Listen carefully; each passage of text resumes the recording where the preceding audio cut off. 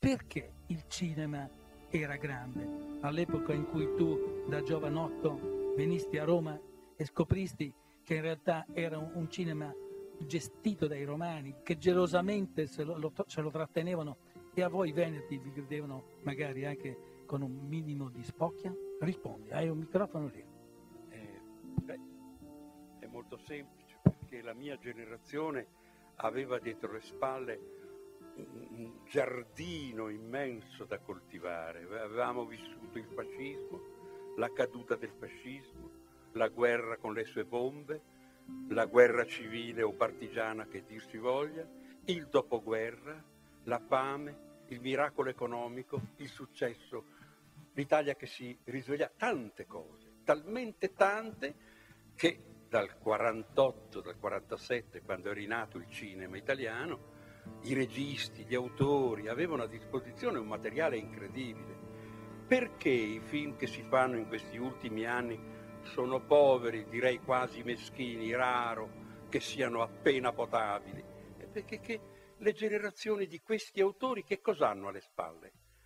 La, la, la, l'automobilina a 18 anni? Io andavo in bicicletta di seconda mano, capito? Cioè hanno avuto tutto ma non hanno vissuto niente. E questo pesa, un autore deve avere delle esperienze. Diceva Louis Ferdinand Céline, se la vita non la vivi, non la scrivi. Uh, intanto cominciamo a dire che il mio incontro con, con Sergio Leone ha qualcosa di magico. Pensate, risale a 54 anni fa, roba da vergognarsi. Dio mio come sono diventato vecchio. Eh? E mi venne a trovare molto umilmente, pensando che forse avrei rifiutato per snobismo. Invece era un momento in cui io avevo bisogno di soldi perché mi ero giocato tutto quello che avevo al casino, perché ero addolorato e quando io ero addolorato andavo a giocare. Come De Sica? Avevo bisogno di soldi, mi disse se volevo scrivere, fui felice di scriverlo per qualche dollaro in più.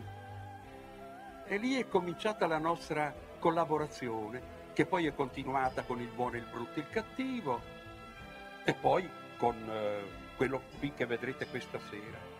E Sergio Leone era...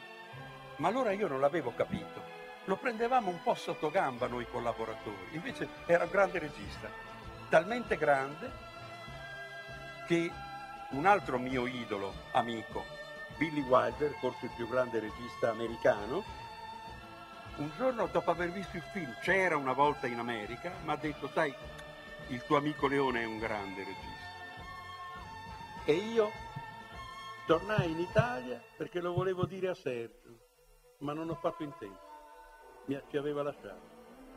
Comunque era un grande regista che ha avuto anche la fortuna di incontrare nella sua carriera quell'altro meraviglioso artista che è Ennio Morricone.